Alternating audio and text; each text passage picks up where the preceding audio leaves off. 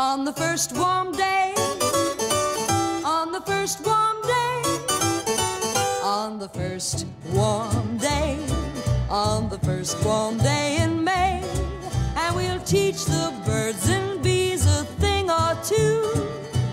Oh, see how I love you. On the first warm day, on the first warm day.